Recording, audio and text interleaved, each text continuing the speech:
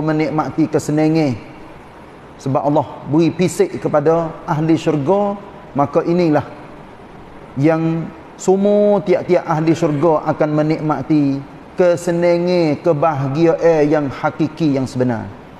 Nah sibuk dalam arti katanya seronok suka hati apabila mereka itu berada di dalam kenikmatan yang tidak serupa dengan kehidupan dunia bahkan dunia satu di akhirat sikit lagi 99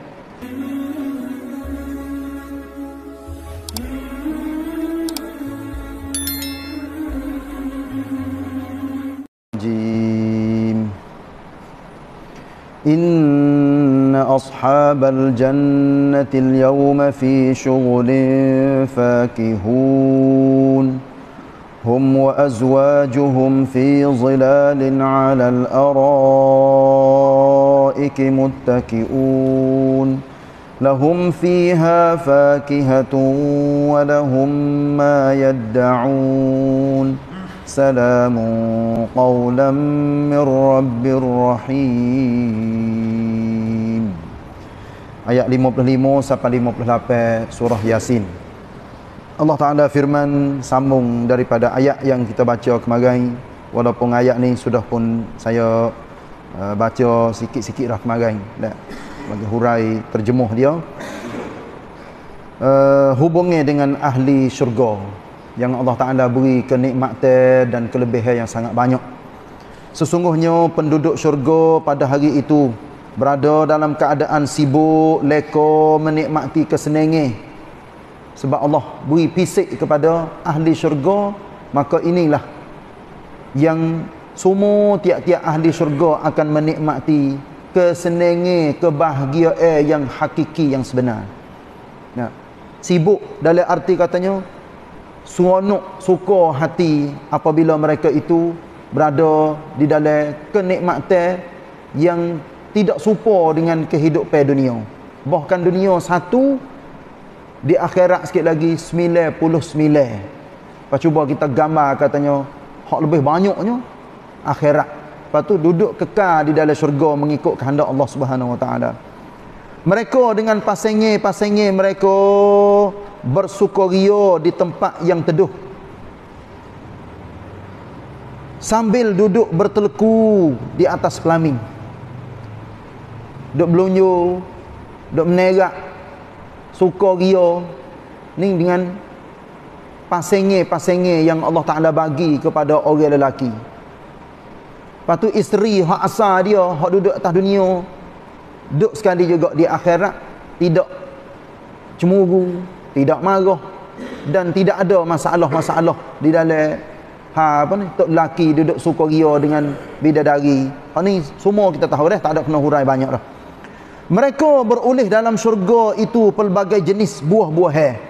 Iaitunya dengan berbagai jenis buah-buahan dengan lazat dan suk, uh, apa ni mengikut kehendak yang di di di apa? Di di kehendaki. Ni Allah Taala royak buah-buahan. Ayat lain royak katanya daging walahmi tayrin mimma yashtahun.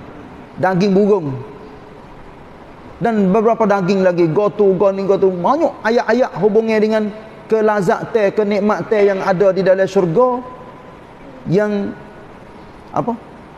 Nampak buah nak serupa dengan dunia. Tapi memakai butir yang kedua buah yang kedua dalam tanda tulah rasanya memang berlainan daripada buah yang pertama. Ha, ni nak ayat katanya benar dia cia kalau kita kecek atas muka dunia tapi di akhirat sikit lagi lagu tu lah belaka Allah Ta'ala akan balas beri kepada orang-orang yang bertakwa kepada Allah di atas muka bumi. Dan mereka beroleh apa sahaja yang mereka kehendaki. Ni dalam hadis-hadis beratus yang Nabi rakyat hubungi dengan ahli-ahli syurga dan nikmat yang ada di dalam syurga nanti.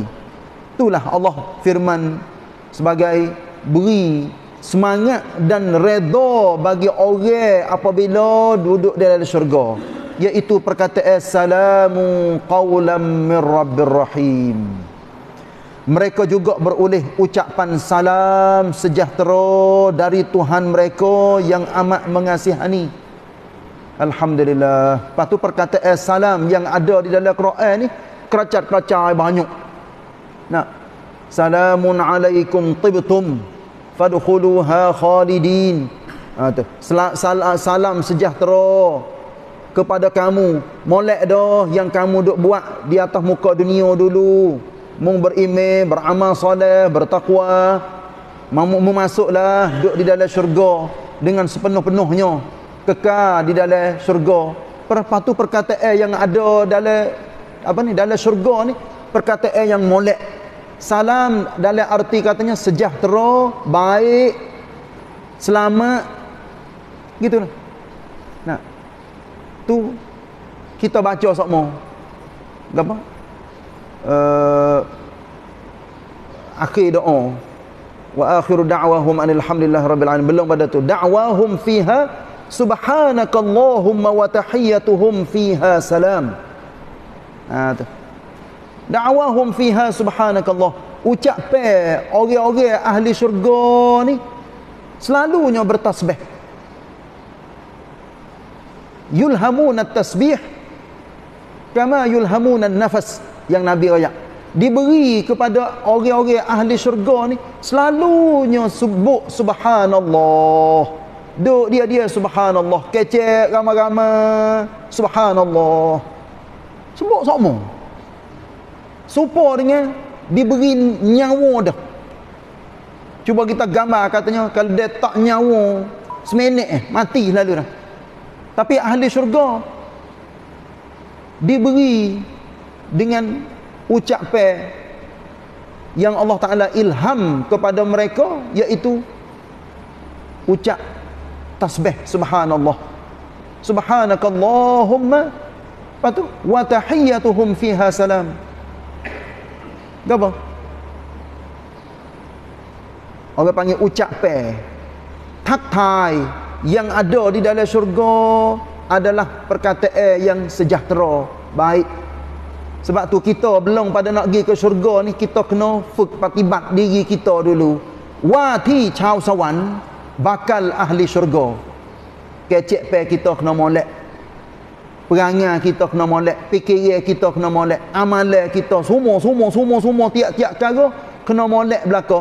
Tiru gapo yang Allah Taala royak di dalam Quran katanya ahli syurga pasal itu perangai dia. Maka kita gunalah perangai ahli syurga yang kita akan duduk di sana. Ya dah tu. Wa akhiru da'wahum alhamdulillahi rabbil alamin. Dan akhir perkataan mereka, ucapan mereka iaitu apa? Alhamdulillahi rabbil alamin. Jadi duk mulut kita semua. Alhamdulillah, subhanallah, Allahu akbar. Ha tu lagi lagu tu. Duk dia dia la ilaha illallah. Ingat semua cah bateri kita tu cah cah cah cah cah cah cah, cah. jangan terlupa cuba kita gambar dah setengah-setengah orang hidup dia ya pagi sampai gelap ada katanya lain luar pada semaya lah tak ingat langsung kau Tuhan. Sebut subhanallah pedok la ilaha illallah pedok apa kita nak kata lagu mana? Dah pasal hidup dia lagu tu. Lepas tu kecek pula kecek hudup. Mengupak kata kau orang. Nah go tu go ni go tu ni. Oh punuh. Wong con hidup dia penuh bagi orang yang pasal tak tahu. Katanya nak macam mana nak jadi masuk hidup dia tu? Jadi duduk dalam rong rong Islam ni lah ambil daripada salamun qawlan min rabbir rahim. Mereka juga beroleh ucapan salam sejahtera dari Tuhan mereka yang amat mengasihani. Allah Ta'ala sendiri akan kecek royak kepada ahli-ahli syurga. Salah satu daripada hak Nabi sebut iaitu apa? Allah royak kepada ahli syurga. Uhilla alaikum ridwani fala ashatu abada. Aku halal kepada kamu semua redha aku hei ahli syurga. Ni lepas pada orang boleh duduk di dalam syurga belakang Allah akan sebut perkataan ni. Semua orang pakat boleh dengar pensi yang dia akan Lepas tu pahal belaka. Aku redha kepada kamu semua gapo hak kamu duk buat? Atas muka dunia dulu hari ni aku redha aku halal lah kepada kamu. Fala askhatu abada. Aku tidak akan marah tidak akan murka kepada kamu buat selama-lama. Ni apa yang nabi sebut? Pas kita akan dengar sendiri. Sikit lagi apabila kita duduk di dalam syurga mula-mula perhimpunan orang-orang ahli syurga masya-Allah. Kita tak tahu katanya nak gambar lagu mana. Dan hari itulah hari yang paling gembira bahagia seronok yang kita boleh jumpa tiap-tiap orang orang belum pada ni tok nenek tok nenek tok nenek kita tak biasa temu. Anak cucu kita sikit lagi kita taklah katanya cicit kita kita tak ada jumpa dah. Kalau dia benih kita masih ada lagi. Boleh jadi kita dia tengok cucu ya setengah-setengah orang umur panjang dia tengok cicit. Tapi dia umur sara tu tak ada tengok dah cocok dia. Okey? Tak ada tengok dah. Tapi di akhirat sekali lagi Allah Taala akan hipung belaka. Kita akan boleh kenal oh tengok ni benih aku. Mari mari mari mari mari mari mari sampai ke akhir dunia sebab itulah kita kena jadi apa? Sejak daripada zaman dahulu kita nak pergi plan, plan zaman dulu tak boleh dah. Tapi hak masa depan ni. Masa depan anak kita kita kena didik molek. Lepas tu bubuh benih agama di dalam anak cucu kita. Bu jadi orang-orang yang beriman. Seperti mana Allah Taala firman di dalam surah apa? Surah At-Tur. Nah, surah At-Tur yang Allah Taala firmannya والذين آمنوا واتبعتهم ذريتهم بإيمان ألحقنا بهم ذريتهم وما ألتناهم من عملهم من شيء Orang-orang yang beriman Kami ikuti Maknanya kami toyot Anak cucu mereka Dengan iman Daripada orang zaman dulu beriman Mari rung anak, rung cucu, cicit, cocok Gi gi gi gi gi. Jangan we putus. Jangan we ada mana-mana keluarga yang putus dengan sebab gi jatuh murtad. Nauzubillah min zalik. Tuhan dia tidak apa? Tidak jadi bokrong walaupun sikit di antara anak daripada tok nenek kita. Wallahu alam lah.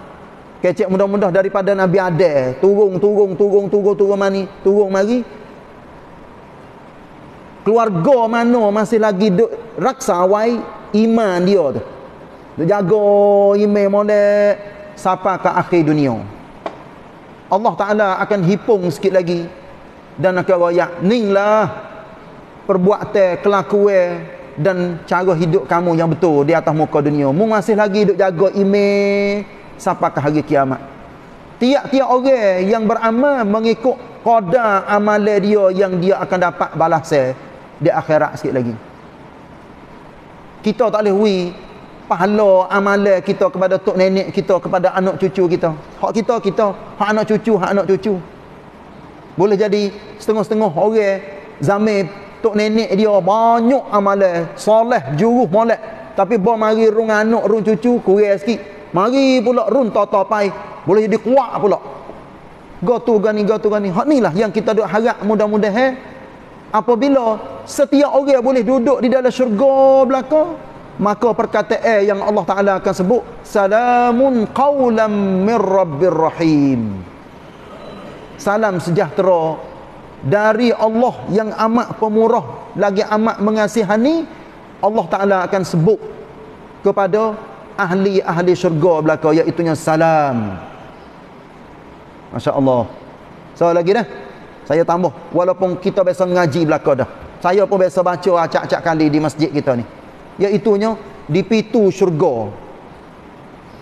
Di pintu syurga. Galiknya kalau atas dunia ni dia panggil pintu gerbang. Nah, pintu gerbang. Pintu gerbang ni galiknya ada tulisan atasnya nak ayat katanya nama ko ko ucap pe ko. Di pintu syurga pun ada juga. Nabi ayat di dalam hadis sahih. Inna rahmati ghalabat ghadabi. Ada setengah riwayat. Inna rahmati sabaqat ghadabi.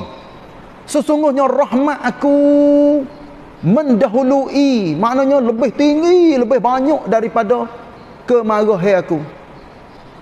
Maknanya ความเมตตาของฉันอยู่เหนือกว่าความโกรธเกรี้ยวของฉันนี่ไง Allah Taala dia letak perkataan ni di pintu syurga nak jadi semua orang pakat masuk di dalam rahmat belaka dia tak marah lah kepada hamba-hambanya yang muttaqin terutamanya orang yang jiwa bersih orang yang hati bersih otak bersih perkataan perkataan percakapan perbuat semua tiap-tiap kali bersih belaka itulah Allah Taala panggil ya ayyatuhan nafsul mutmainnah. Hei jiwa-jiwa yang tenang irji'i ila rabbiki radiyatan mardiyah. Kembalikanlah kamu kepada Tuhanmu dalam keadaan redha dan diredai fadkhuli fi ibadi. Mu masuklah. Duk sekali dalam golongan hamba-hambaku wadkhuli jannati. Mu masuklah dalam syurgaku sebab tu nabi royak. Katanya syurga ni tak boleh masuk. Kecuali yukwen bagi orang yang hati dia bersih jiwa bersih tak ada dosa orang ada dosa tak boleh masuk syurga. Orang ada salah silap tak boleh masuk syurga. Sebab tu kita kena buai sokmo ni kena kukuk buai buai buai dosa kita kesalahan kita. Itulah kena istighfar kena bertaubat kena minta maaf kena wi maaf kena beramal soleh. Kena menjadi berjuruh kita ni. Jangan kelong jangan menipu jangan bohong jangan jangan jangan. Benar tak molek semua jangan belaka tapi benar hak molek alhamdulillah buatlah sebanyak mungkin mengikut qadar kita kuasa lepas tu berdoa minta dengan Allah Taala semua jadi kita boleh masuk di dalam syurga boleh duduk sekali dengan hamba-hamba Allah yang diredai nah kita ni saya lah Hal ini saya tambah atas ni tak. Saya anggap katanya amalan kita, usaha kita kopeh-kopeh. Kopeh-kopeh tu bahasa bahasa Melayu kampung ni. Kopeh-kopeh maknanya apa yang kita nak nak terjemuh? Maknanya cip coy, sikit-sikit kita buat. Khusyuk pedak sungguh pedak. Go tu pedak tapi kita harap gitulah. Harap katanya mudah-mudahan hak kita dak buat ni Allah Taala akan terima. Gitulah. Nah, wallahu alam wa sallallahu ala nabiyyina Muhammad wa ala alihi wa sahbihi wasallam. Wassalamu alaikum warahmatullahi wabarakatuh.